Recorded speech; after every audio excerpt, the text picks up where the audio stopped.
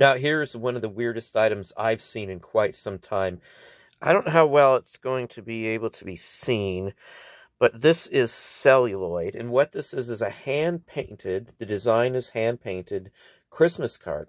I've never seen one like this. They're not worth a fortune. I'll probably get 25 to say 40 bucks at most on this.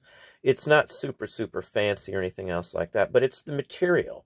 If this was just a piece of paper that had the exact same hand-painted design, I'd be lucky to get five or eight bucks for it. But as a celluloid piece, that's a different story. It's like an early form of plastic almost. Now, we've sold tons of items made out of celluloid, so it is a common material back at the turn of the last century. So it is something to look for. I've sold like bookmarks and calendar cards and things like that, as well as some buttons made out of celluloid for hundreds of dollars. So some can carry a huge value. This, though, not so much.